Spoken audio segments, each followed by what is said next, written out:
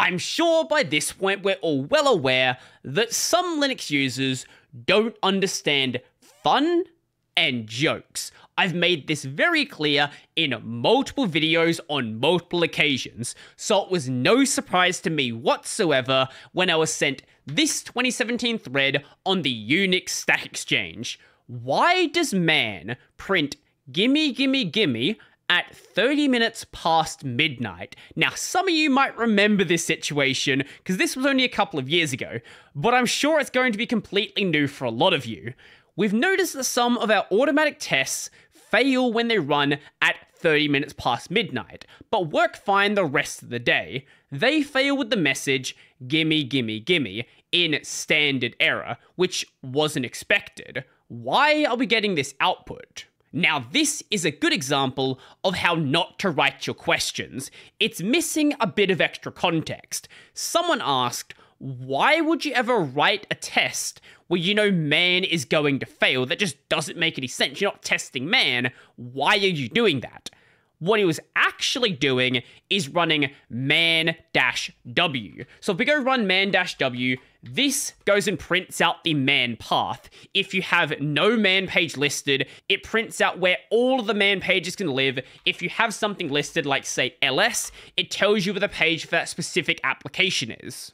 Now, Gimme Gimme Gimme was intentional, just not in this way. It was first added six years prior in 2011. Easter egg suggested by Thomas Thurman? I'm going to say Thurman, not Terman. And it sat in the code base for a long time.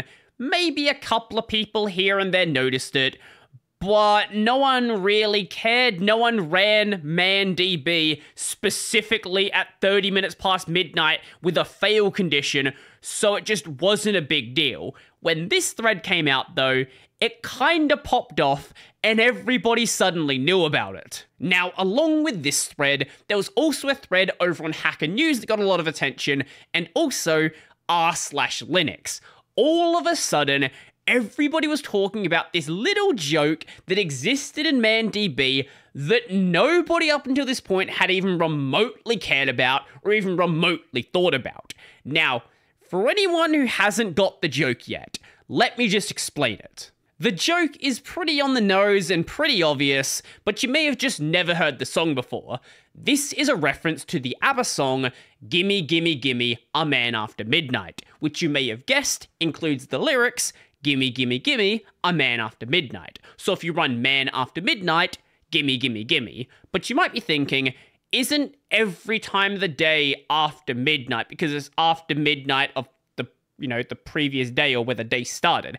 And yes, you would be correct. So when it was first added, it actually didn't run at 30 minutes past midnight, it actually ran at 1 minute past midnight. But there is a very good reason why it's at 30 minutes past now, because the first line of the song is half past 12.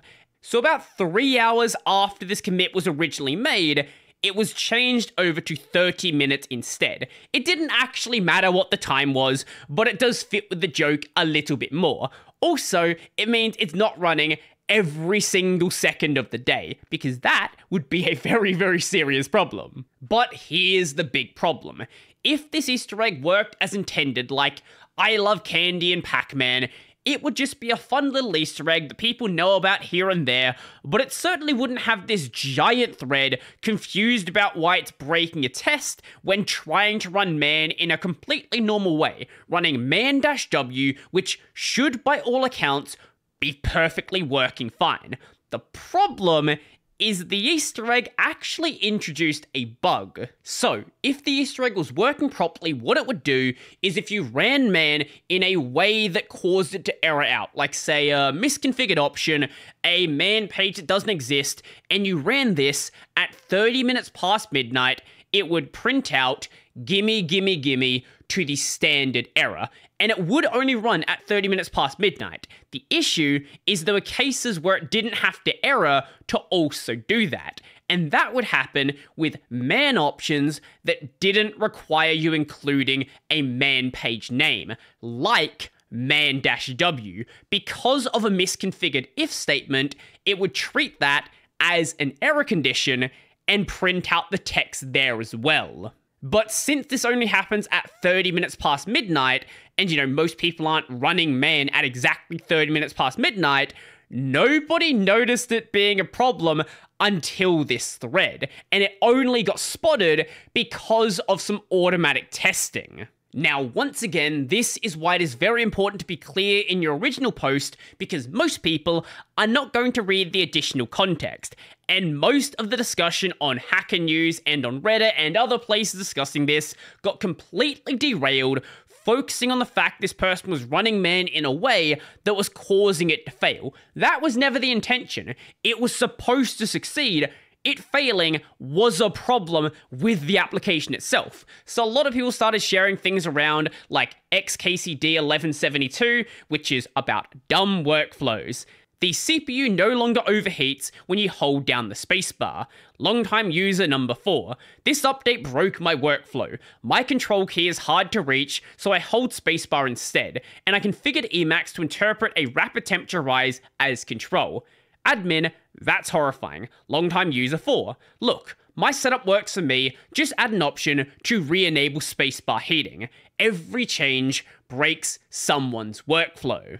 And slightly off topic, that is a big part of the nightmare of the kernel and why don't break user space exists. Because every time a little bug is introduced that some people start relying on, it goes from being a bug to a feature. So now you cannot touch it without breaking, you know, possibly thousands of people's workflow, especially if it's something that's wide reaching. In this case, it had the opposite effect, but I can see what they're trying to say if they misunderstood the original post. And possibly due to all the attention the thread got, the person who suggested the Easter egg got involved as well. This was just in an offhand tweet back in 2011.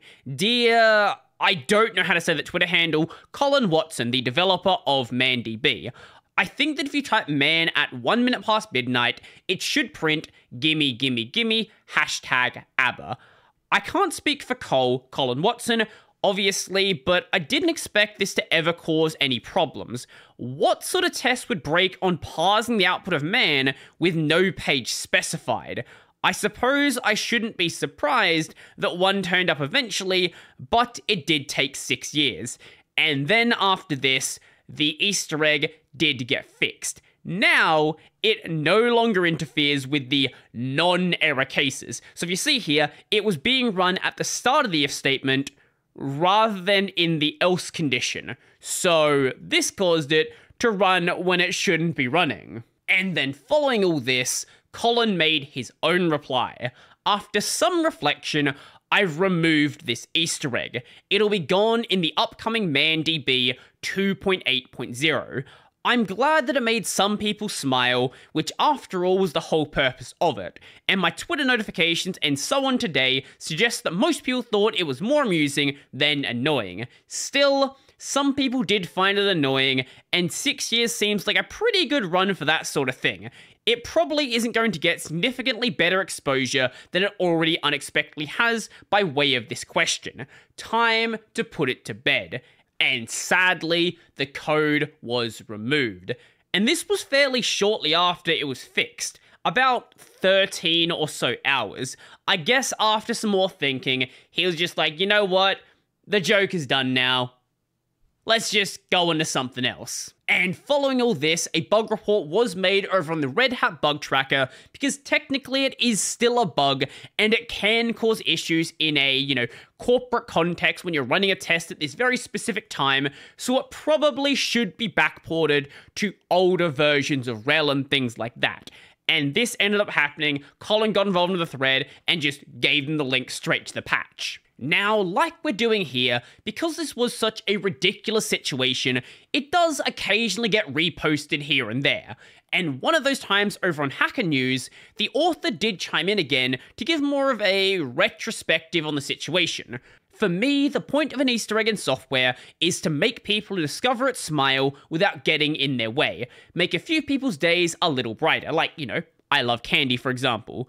The nature of this one was that it wasn't all that likely that people would notice it. You had to run man without non option arguments at the time, and you also had to know enough about ABBA for the output to remind you of the lyrics. For six years, I barely heard a peep about it, and I'd pretty much forgotten about it myself. Then suddenly, it turns up on Stack Exchange and is all over the internet. Somebody on Hacker News suggested that maybe this was the fewest bits needed to encode a widely distributed earworm. The Register later had a comment thread on it full of ABBA puns. I'd only ruin it if I decided to be an ass about it. For a formally obscure silly bit of code, it isn't going to get any better than this anyway. Four years later, it still occasionally crops up, and I get an ABBA earworm for the next day. I'm not sad about it. Hopefully, the author sees this as well, and you go on another ABBA binge. Now, I did see a few people here and there saying this should have never been in production code, this was unprofessional, and why did this ever happen? And I think those people don't know what fun is. Simple as that, pretty much. Personally, I don't think it would have ever been that big of a deal that anybody would have really cared about if it didn't have a bug in it. The only reason anyone ever cared is it didn't work the way it was supposed to. And it's pretty much as simple as that. But maybe you disagree. Maybe you think, you know, this was a pretty serious problem, and this could have caused a lot of damage in some weird production system where running a test on man would cause an issue specifically at 30 minutes past midnight. Maybe it could happen. I don't know.